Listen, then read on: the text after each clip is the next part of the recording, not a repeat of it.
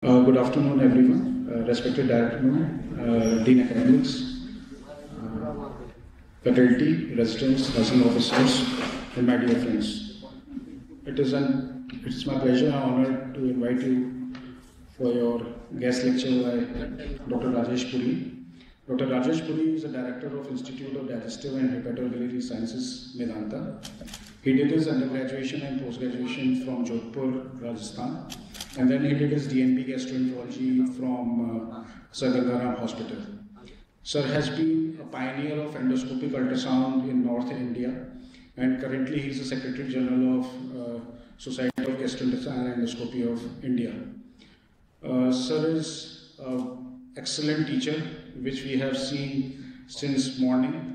He has been teaching our faculty and senior residents how to do this procedure, which is called as peroral endoscopic myotomy. Uh, Dr. Puri, it is my honor to welcome you to AIIMS Rishikesh. Uh, Ma'am, uh. I request you to felicitate Dr. Puri with a bouquet of flower and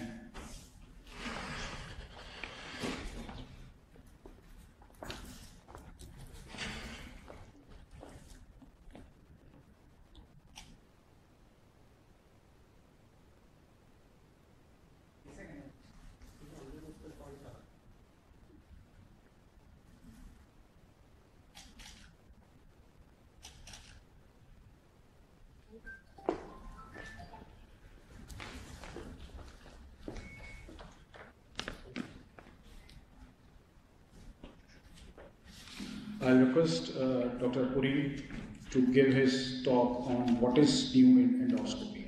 Okay.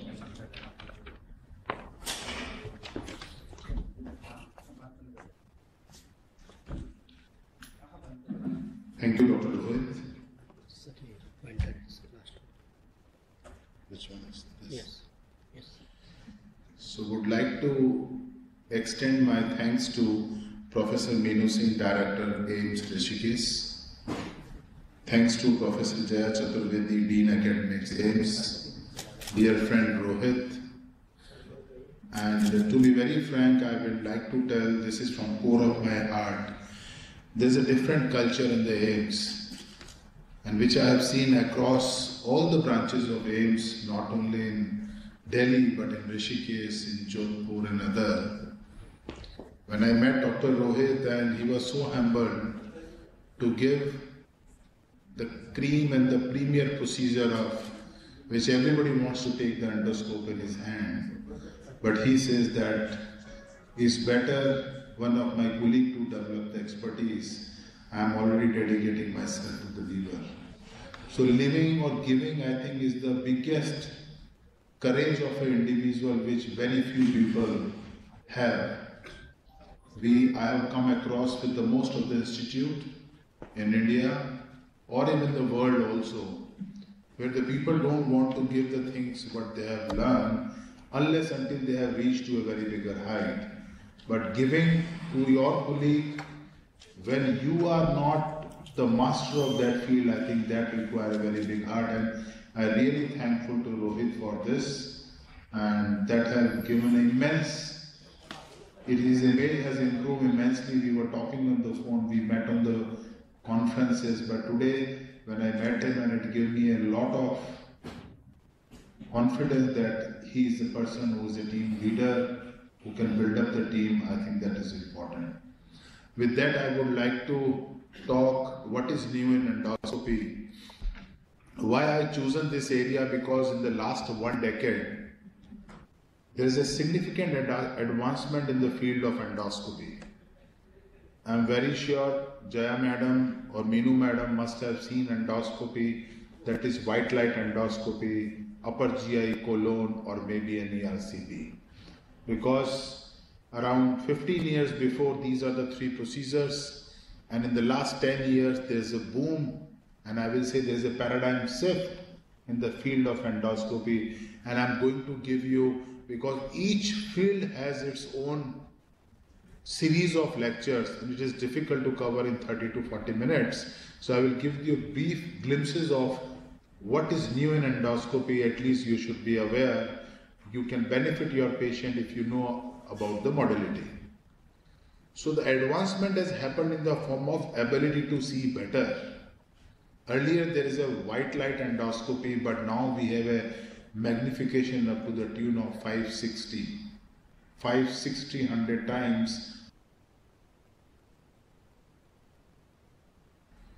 It was 120 time, 260 time, and now we have a 528 time. So we can give the histopathological diagnosis with the help of endoscope. This type of endoscope is available. Ability to visualize the area which was inaccessible. Earlier, the small intestine, you look at the CT, you look at the barium, you say this is, could be a malignancy, this could be a tuberculosis, this could be a Crohn's disease, and you give the trial of ATT. But now we have an endoscope which can goes to the convoluted small intestine, which is 8 meters long. We can start from the mouth and we can reach up to the transverse colon. The entire small intestine can be seen with the help of endoscope. So, in the evidence-based medicine era, we don't rely only on the CT scan we can reach to the terminal ileum, we can take the biopsies, we can do the therapeutic procedures. The bile duct, the pancreatic duct, we can go inside the bile duct, we can visualize like an endoscopy. So this, this much of advancement has happened. We can see outside the gut wall because with an endoscope we can see inside the lumen. But we have an endoscopic ultrasound, we can look at the gut wall we can see outside the gut wall and we can take the biopsies, we can do the therapeutic procedure and few innovative technology. So to see greater mucosal detail, I am very sure everybody has seen this white light endoscopic image, but now we have such an advancement. And what is an advancement? A greater evaluation of the surface pattern and the greater evaluation of the vascular pattern. So as the normal mucosa goes towards the cancer, the vessels pattern start changing. The mucosa surface pattern start changing and we have a zoom scope. We can see the abnormal blood vessels here and we can see, you can see a normal pattern of the surface pattern and the normal blood vessel pattern. But as you advance, the blood vessels started become disarray, the surface become amorphous and we can diagnose that are we dealing with the cancer, are we dealing with the inflammation. And not only we are dealing with the cancer, how depth is the involvement of the cancer, we can predict on the basis of surface and the vascular pattern.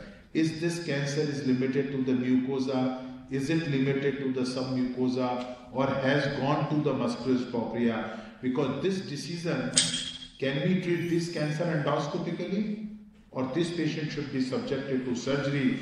This decision we can take on table while doing endoscopy because we are moving towards a minimally invasive surgery. So the cancer which is limited to submucosa, we can remove endoscopically, we can give the cure rate up to the tune of 97%. That is called as early esophageal cancer, early gastric cancer, early cancer in the rectum. We can treat endoscopically and it has a cure rate of 97. And if you know earlier, if anybody has a cancer, everybody says his life is not more than six months or one year. But now, when we visit Japan, we visit US or UK, a patient has a one cancer in 1993, second cancer in 2005, and third cancer in 2019. All three times he was treated endoscopically because we have a better detection. We have a better, when you detect early, you can give a cure because once the disease is advanced, you cannot treat it. Now, this is an advancement which I was talking.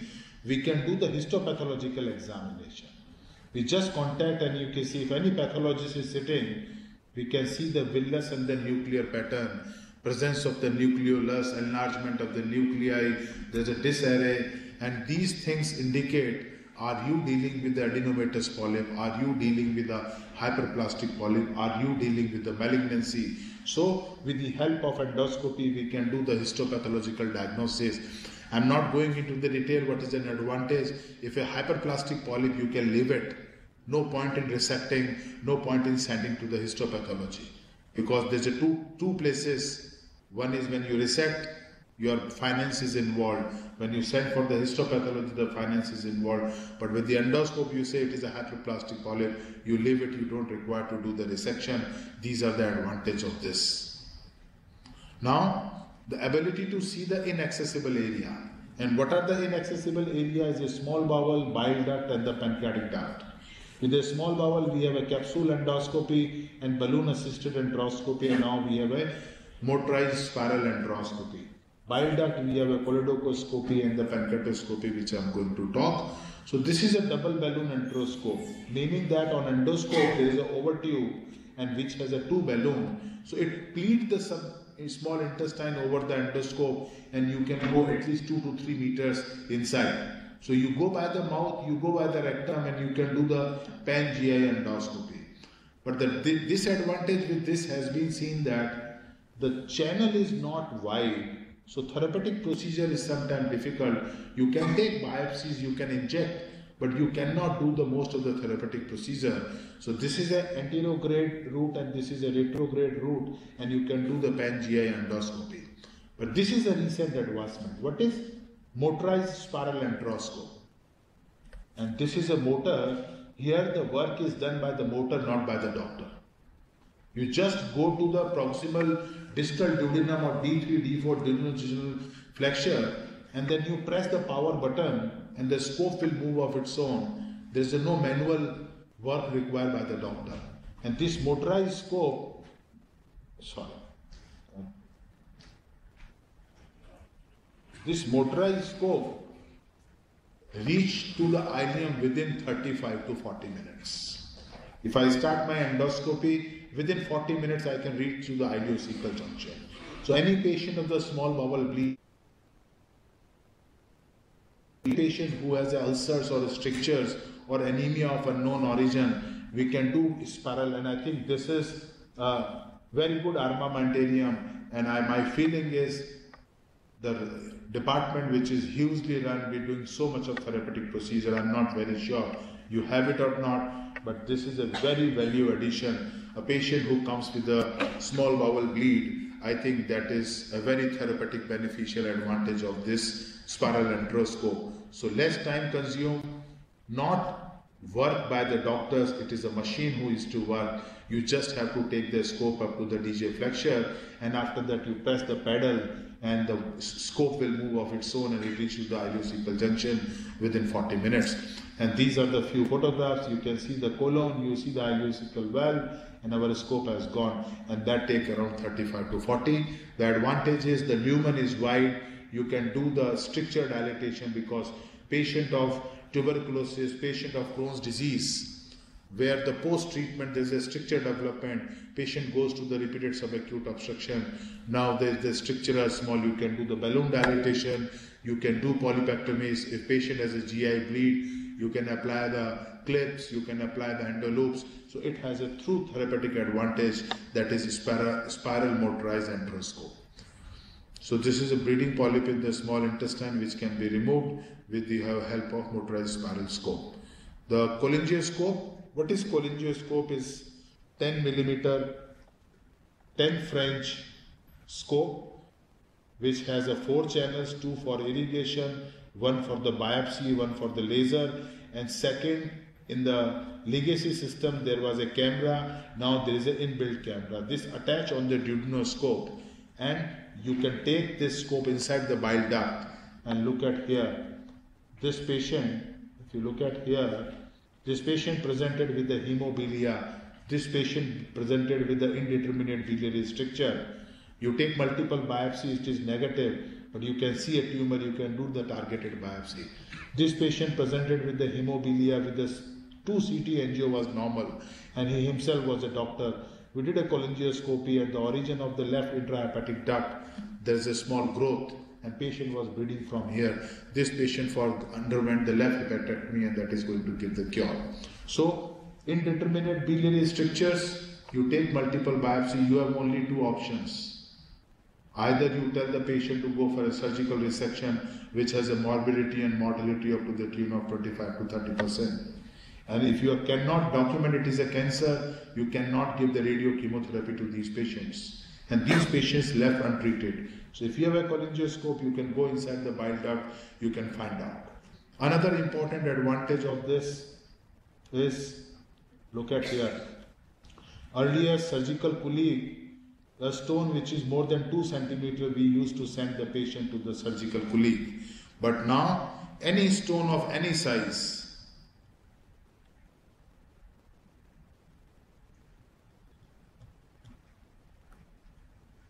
stone of any size 2 centimeter, 2 5 centimeter, 2.5 centimeter. In fact, when the surgical colleague leave the stone as a Mirizzi syndrome, they did a cholecystectomy, but the stone impacted at the neck of the cystic duct. They, they, they sometimes they may not be able to remove, and post-surgery patient comes to us. In the last four years, we have done 70 cases of Mirizzi syndrome. You do a laser lithotripsy, you break these stones, you pulverize these stones into the small particles. So any stone of more than 2 centimeter, 3 centimeter, 4 centimeter, they don't require to go look at the CBD is packed with the large stones Earlier, these patients go for a CBD exploration, but now with the help of cholangioscope, we can remove, and it gives a very good picture of the bile duct. This is a new version of the SpyScope, which has a CMOS chip.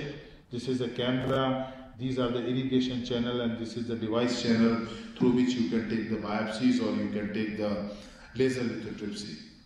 Another advancement is the capsule endoscope. What is capsule? This is a 22 millimeter size capsule which has an inbuilt camera. Person has to swallow with the water and it take around 60,000 photographs over a period of 8 hours. It has a data recorder, it take capsule and it, the images are recorded in the data recorder. Once the capsule cover 8 hours reaches to the small, small intestine to large intestine, then you remove the data recorder, you download on the computer and within one hour you can look at. So those patients who cannot go for the difficult endoscopy because they have a multiple cardiopulmonary disease. They are not the good candidate for the anesthesia.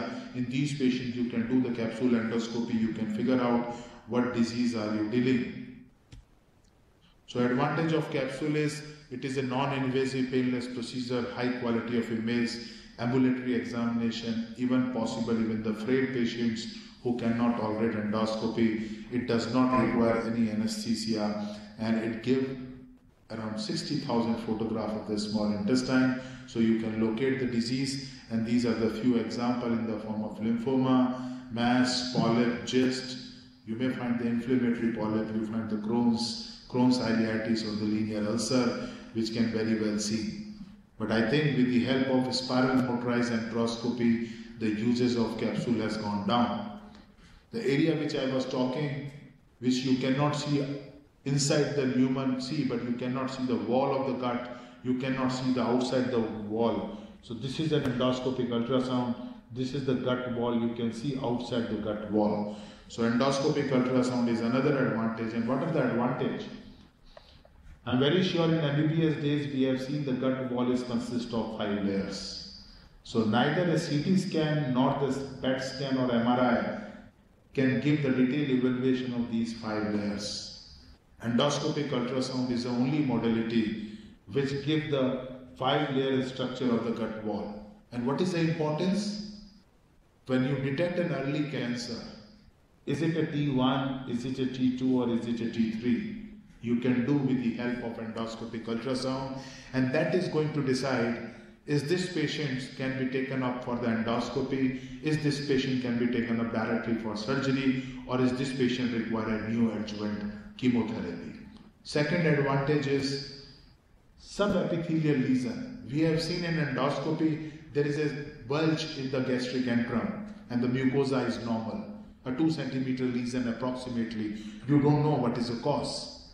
There's a hundred of the causes. It may be extramural, it may be intramural, but if you do an endoscopic ultrasound, you can say, are you dealing with the lipoma? Are you dealing with the varix? Are you dealing with the cyst? And why it is important? If it is a lipoma, you can tell the patient you don't require anything, go home. But if patient has a varix, and if you take the biopsy, patient orangely bleed and dies on the table. And if the patient has a cyst, then you can plan. Can I remove it endoscopically or should I subject the patient for the surgery because cyst is a malignant potential. So this is an advantage of endoscopic ultrasound, T staging of the tumor, the which which layer the tumor is originating or the lesion is originating, you can predict. Are you dealing with a neuroendocrine tumor, schwannoma, lipoma, neurofibroma, or the GIST or the leiomyoma, and you can plan your treatment accordingly. So this is a EUS machine, this is a EUS scope. The most important role of endoscopic ultrasound is staging of the lung cancer, but in our country, the pyrexia of unknown origin with the mediastinal and the intraabdominal lymphadenopathy. I'm very sure we, when we were doing postgraduate, any patient comes with a mediastinal lymphadenopathy, you have only two options. Either do a bronchoscopy, which has a pickup rate of only 27%, or give an empirical ATT. And it has been shown in the series that 17% of the patients are not tuberculosis, either they are sarcoidosis or they are lymphoma, and patient unnecessarily take the ATT. And on the other side, that patient might develop the ATT-induced hepatotoxicity. So it is very important we should have a tissue diagnosis. Look at here, this is the scope, this is the esophageal wall, this is the mediastinum, this is the heart. So under real time, you are puncturing the mediastinal node. You know this is the heart, you can't take the needle deep. So this is a 10 minutes procedure. You can take the FNAC, you can take the histology because now the treatment is personalized. The treatment will depend upon the immunohistochemical staining. So for that you require a tissue. Earlier we were able to give the FNAC, but now we can give the histological core and even for the lymphoma, you can do the molecular profiling and the immunohistochemistry. Now look at here, the lymph node of 5 millimeter. So any lymph node which is 5 millimeter to any size, you can target with the help of endoscopic ultrasound. And the most important thing in our country, when you are dealing with a malignancy, when you do a PET scan, you find a lymph node. It is not possible to target this lymph node with the help of CT scan or with the PET scan. Either you do a mediastinoscopy or thoracoscopy, which is a more invasive, more costly, require general anesthesia. Here you do endoscopic ultrasound, 10 to 15 minutes. You take FNAC, you send to cytopathology. Within one hour, she can tell: Are you dealing with the reactive lymph node? Are you dealing with the tubercular lymph node? Are you dealing with the metastatic node? And that is going to change. And at least one in a month, patient comes to us with the report a pancreatic malignancy with the lymph node. And on the basis of that, it is an unoperable tumor. But when you sample the lymph node, it turns out to be tuberculosis. So PET positive lymph node doesn't mean you are dealing with the metastatic node. It may be an inflammatory node, require a tissue diagnosis because an unoperable tumor, you can make it operable and this happens at least once in a month. So it is important. Mediastinal lymph node is very important. Other indication, staging of the esophageal gastric malignancy, large gastric folds, submucosal tumor I have spoken. Now this is altogether a separate topic, a one-liner endoscopic ultrasound in the portal hypertension. We can measure the portal pressure laser, we can measure the HVPG, we can measure the shear wave elastography, we can do the therapy of the gastric varices. So for liver disease, in the near future it will be a one chop chopping. A patient comes to us, you do an endoscopy, you look at the varices, you want to measure the HVPG, you just put a 25 gauge needle with a manometer over it, it gives as accurate as a HVPG done invasively. You can take the liver biopsy in a patient of NASH or liver disease. You can do the shear wave elastography. So patient with the one scope, you can do at least five things. You don't require to send the patient to the radiology, to the ultrasound, to your place. On one table with one scope, you can do the entire spectrum of liver disease patients. That is an advantage. The most important indication is CBD stone. Again, the one-liner, the era has gone when the suspected CBD stone goes for ERCP. If you have documented the CBD stone, ERCP is the standard of care. But if you have not documented, then you are only left with either MRCP or EUS. It will depend what facilities is available in your place. If MRI is available, yes, MRI is good. But MRI score not over EUS, EUS score over MRI. Why? Because number one, a six less than six millimeter stone, which is culprit for the biliary pancreatitis, the MRI accuracy goes down to 55%. And stone impacted in the ampulla, where there is a fluid, and MRI has a poor resolution for the ampulla. So ampullary stuck up stone, stone less than 6 millimeter, MRI, MRI, MRCP has a poor specificity. In those cases, EUS score. But if you don't have any EUS, I agree, don't subject the patient for ERCP, risk of pancreatitis, risk of perforation, risk of bleeding. It is better to do MRI. Pancreatobiliary malignancy, again, it is a one-shot shopping. How come? It, it diagnosed small tumor, less than one centimeter cannot be picked up, EUS can pick up five millimeter tumor. If tumor is there, you can stage the disease because for the portal vein invasion, EUS is superior to the dynamic CT. If you require a tissue diagnosis, you can do on the same sitting.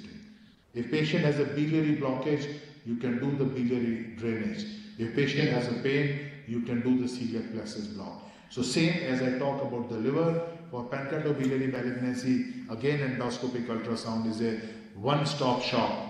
You can do everything right from diagnosis, staging, tissue diagnosis, celiac block, biliary drainage, everything is possible. Diagnosis of the recurrent pancreatitis for microlithiasis or for early chronic pancreatitis, endoscopic ultrasound, cystic lesion of the pancreas. I don't think any modality can say what are you dealing. EUS has an advantage both morphologically as well as by taking the fluid for aspiration, sending for the biochemical test, sending for the histopathology, EUS score or other modality. The drainage of the pseudocyst, I think it is no more used by the surgeon. Endoscopic ultrasound is the treatment of choice for the pseudocyst drainage. A patient of cancer who has a pain, the celiac plexus neurolysis is possible. I think pancreatic fluid collection now it has taken from the surgeon hand 80% of the pancreatic fluid collection is taken up by the gastroenterologist. Obstructive duct drainage where the ERCP failed, we can do the drainage of the bile duct, celiac plexus, neurolysis, and fiducial implantation. So this is an example. Look at here. Within five minutes, earlier these patients go for a narrow necrosectomy, but we put a covered metal stent, which is a diameter of 16 millimeter to 2 centimeter, and it take five minutes. Look at the pus is draining from the wall of pancreatic necrosis. Earlier, these patients go for a large incision with a percutaneous drain, hanging drains. Patient has a pancreatic cutaneous fistula. Here, you do an internal drainage, and the most important advantage is not only you drain. I'm not going to the detail. This is a separate topic, but 65% of the patient improve with the drainage only. Those 35% of the patient who still has fever, what can you do? you can do the necrosectomy. You can go inside the stent to the retroperitoneum and you can remove all the necrotic material from the pancreatic bed as the surgical colleague is doing. So you can do the drainage, you can do the necrosectomy, all dead pancreatic tissue can be taken up with the help of uh, endoscopy. So this is the retroperitoneum, this is the part of the pancreas, this is the dead pancreas which we remove using various accessories. Now, this is another very good advantage of endoscopic ultrasound. This is called as EUS guided gastrojejunostomy. The concept has come. Now you know that we have got a very much advancement in the chemoradiotherapy. Patient life expectancy has gone up in the patient of cancer. So patient who has a gastric outlet obstruction, when you put an enteral stent, these stent get blocked and patient comes again and again. That's number one. Number second, gastric emptying is poor in these patients. Even after putting the stent, these patients keep on complaining they have a nausea vomiting. What we do is we do the gastrojejunostomy. We fill the water into the jejunum from the stomach. We put a fully covered lumen apposing stent and we create an artificial place from stomach to the jejunum. Earlier the laparoscopic surgeon used to do, but now we do endoscopically and look at here. This is and this is the part of the jejunum. Can you see this is the jejunum? So you are creating a new path. And the advantage is there's no tumor in growth. If a patient has a benign gastric outlet obstruction, I do agree, uh, we don't have a literature to say that EUS guided is superior, but there is a possibility the time will come. But in malignant biliary obstruction, where there is a gastric outlet obstruction, you put an enteral stent, patient again comes with the blockage of the stent. But if you do a gastrojejunostomy, this is a normal mucosa to normal mucosa you have created. And here the food will go with the gravity also. So the gastric emptying is better these patients. So patient with a gastric outlet obstruction, gastrojejunostomy is possible. Another important indication, look at here, the gallbladder. Patient who is in the ICU, who has a calculus cholecystitis, or patient has a cardiac disease or the kidney disease, who cannot go for a laparoscopic cholecystectomy. You can do the EUS guided drainage of these this what we have done is EUS guided gallbladder drainage. So this is the we have dilated and you can put the fully covered stent. So this is an advantage now. The gallbladder drainage is also possible. But I'm, that doesn't rule out you cannot do the cholecystectomy. That is a standard of care. But those patients who is not fit for surgery has a calculus cholecystitis or a cirrhotic patients who has a cholecystitis, you cannot subject these patients for surgery. You can do the EUS guided gallbladder This This is an example of patient with the gastric outlet obstruction. So patient of CA pancreas come with the obstructive jaundice. I was doing ERCP. I find the scope cannot go. I just change my scope from ERCP to US and you do the puncture of the bile duct and you put a fully covered stent. So on the same table, same sedation, same performer, just changing the scope from ERCP to EUS. Otherwise, you have to call your doctor who is a radiologist and you have to call him and he has to do the biliary drainage. But here, just look at within five minutes you can do the EUS guided biliary drainage. I think that is another advancement which has happened. Celiac plexus neurolysis, as I talked, patient of the upper GI malignancy who has an intractable pain and patient is not improving with the medical therapy. You look at this is an aorta, this is a celiac artery, and what the radiologist colleague, they also do the same site percutaneous just near the celiac artery. Here, under guidance, we puncture the absolute alcohol. So, what the earlier radiologist colleague was doing under fluoroscopically, blindly thinking that at the T12 vertebra, the celiac artery is going to arise and they try to puncture blindly the alcohol. But now, under reason, we can inject and patient of upper GI malignancy, especially the pancreatic cancer, who has an intractable pain, we can do the celiac plexus neurolysis. So this is a very good advancement. I think this is a must require armamentarium in endoscopy. Because whenever you do endoscopy, patient might have a perforation. And if the perforation happens, you rush to the surgeon.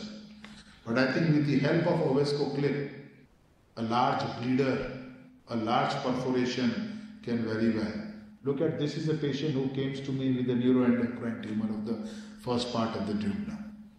I did the removal of the neuroendocrine tumor, and after the removal, I find there is a gap I just change my scope, put an Ovesco clip, and within 10 seconds, you close the gap. You don't require the patient to do a laparotomy. A 2 centimeter up to 2 centimeter gap into the first and second part of the duodenum. Even while doing endoscopy, I was talking to my colleague now today. Sometimes it happens with us and it happens with him also. There was a perforation just by using the Ovesco clip and he has immediately closed it. And look at the complete defect is closed. And my colleague has done it in his department. So you don't require to rush to the surgery. And these patients, sometimes they are cancer patients, they cannot handle the surgery and ultimately patient dies. So the most important advantage is on endoscopic table you can treat the perforation also. The bariatric procedure again, bariatric procedure just to highlight we have endoscopic procedure which is useful for obesity. The most important thing is it is not for the BMI of more than 40, anybody who has a BMI of 26 to 35 can very well be taken with the bariatric procedure and this is very good for control of diabetes.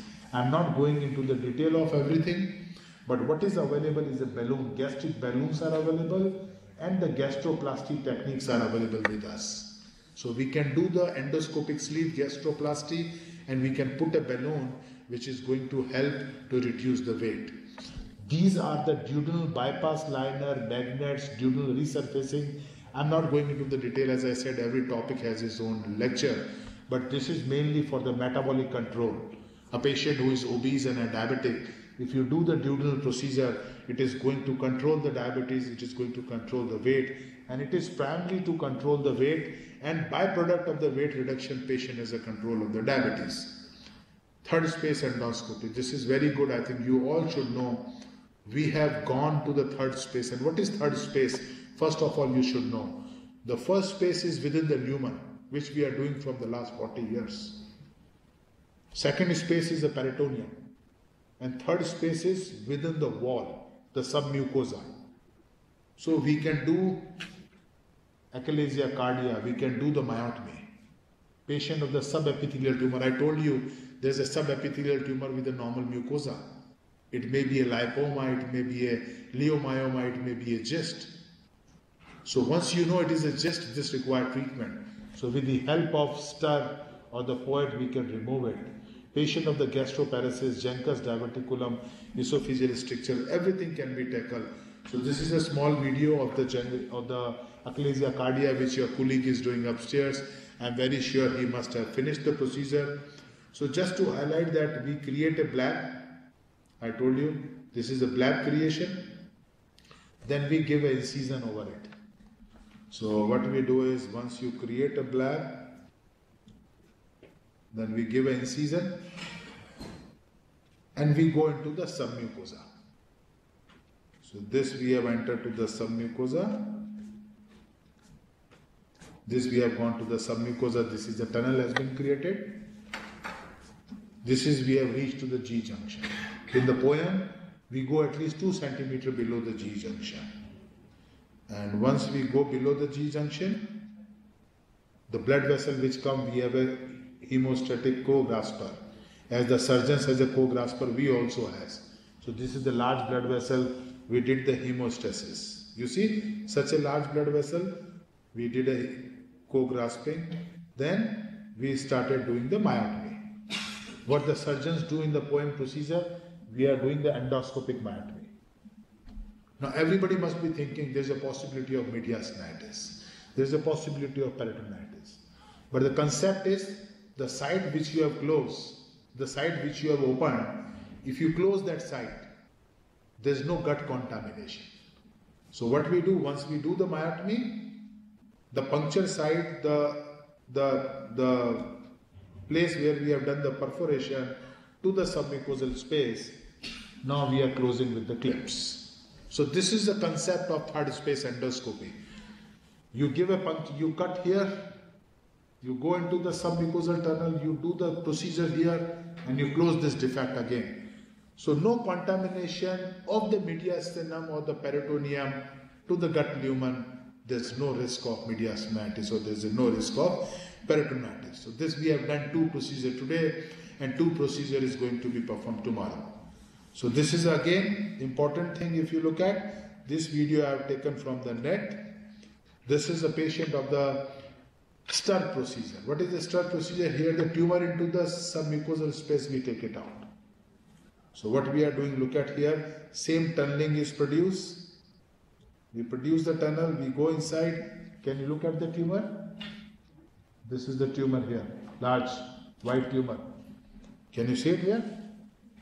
So you create a tunnel and you take out the tumor outside and the, from where you have entered, you again close with the clip. So any submucosal tumor, I'm not saying all, like lipoma doesn't require treatment, leiomyoma doesn't require treatment. But if it is a GIST tumor, it has a chances of metastasis, so you have to remove. So this is the advantage and the part which has come out, you have to close it. So by applying the, now we have got Apollo endo switch. If we have got a defect more than 2 centimeter, 3 centimeter, with the Apollo endocinch we can do the suturing. So this is an advantage of this. The last slide I think, the ESD. It is important, but I was talking about the early resection of the T1 cancer endoscopically, either in the esophagus or the stomach or the rectum. So look at here, this is entire is a tumor. And with the high magnification endoscopy, we have confirmed that it has no deep invasion. Earlier patient go for a large surgery. And within two hours, we remove the entire tumor. You see, this is the device. We are cutting at least 5 millimeter outside the tumor. And within two hours' time, look at here. You see? Can you see the entire tumor has removed? So you don't require to send these patient for surgery. The, this is a complete chain. First you diagnose. Yes, this is doable. And once you know it is doable, then you can remove endoscopically. So there's a lot of advancement has come up in endoscopy. And uh, last one more is important, I think is very important. So this is called as FTRD device.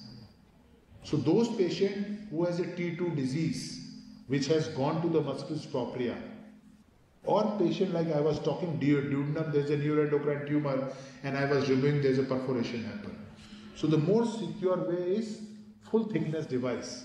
This is again a new instrument. And what you do?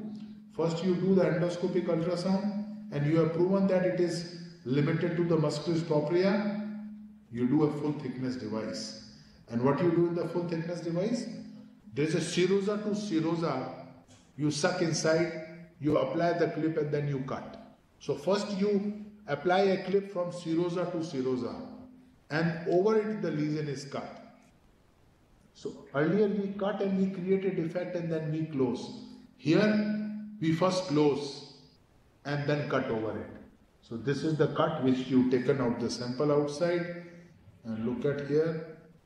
This is, can you see? It was same as the Ovesco clip and the same company. The concept is little different. If you have done the perforation, you apply Ovesco clip. Here, you apply first Ovesco clip which covers serosa to serosa and over it you cut the lesion. So there is no risk of even peritoneal contamination or patient who has a T2 disease because of comorbidity they cannot go.